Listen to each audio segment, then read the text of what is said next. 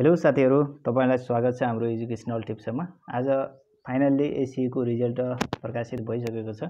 यदि तपाईँहरू result check गर्न चाहनुहुन्छ भने कुनै एउटा ब्राउजरलाई ओपन गर्नुहोला जस्तै म क्रोम ब्राउजरलाई ओपन गर्न गइरहेको छु। जस्ट यो क्रोम ब्राउजरमा चाहिँ यसरी क्लिक गर्नुहोला। र यस्तो एउटा सर्चक डायलग बक्स चाहिँ देखा पर्नेछ। यसमा चाहिँ यहाँहरूले ACE dot NTC dot NET dot NP हानेर चाहिँ यसरी सर्च गर्नुहोला। यसरी हानेपछि चाहिँ एउटा यस्तो वेब देखा पर्छ यसमा चाहिँ जस्ट क्लिक गर्नु होला।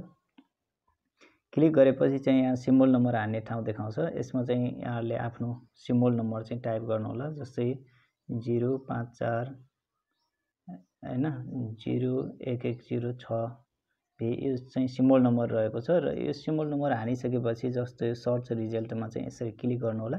सर्च रिजल्टमा क्लिक गरेपछि चाहिँ यसमा देखाउँछ। है जिपिए चाहिँ टु पोइन्ट फाइभ जिरो आएको छ रिम्याक्समा चाहिँ पास लेखेको छ यसरी यहाँहरूले चाहिँ सजिलैसँग आफ्नो रिजल्टलाई चेक गर्न सक्नुहुनेछ। साथीहरू यो छोटो जानकारी कस्तो लाग्यो? अवश्य पनि मन पऱ्यो भने चाहिँ लाइक गरिदिनु होला धन्यवाद।